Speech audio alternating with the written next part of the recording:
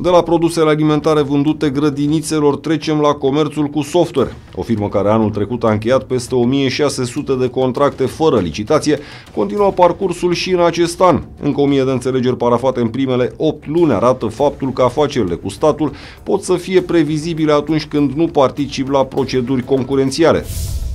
Multe dintre contractele încheiate de către Adi Comsoft au valori de peste 1000 de euro. Asta face ca sumele rulate în cadrul celor peste 6000 de înțelegeri comerciale să fie destul de mari. Compania este reprezentată de Ioan Prund, iar aceste date se referă numai la performanțele din ultimii 5 ani de zile. În trecut, compania din satul Sibian Bradu a fost în centrul unui scandal uriaș. În 2013, ministrul sănătății de atunci, Eugen Nicolaescu, a obligat toate instituțiile subordonate să ofere contracte acestei societăți comerciale. Atunci s-a vorbit în presă și despre legătura dintre Georgeta Bumbac și firma preferată de Ministerul Sănătății. Victor Ponta a anunțat că va trimite la parchet întreaga poveste, dar acest lucru nu s-a petrecut. Compania a încheiat 2022 cu un rulaj de 26 de milioane de lei și în ciuda faptului că produce software, are o pagină de prezentare care arată ca la începuturile internetului din România.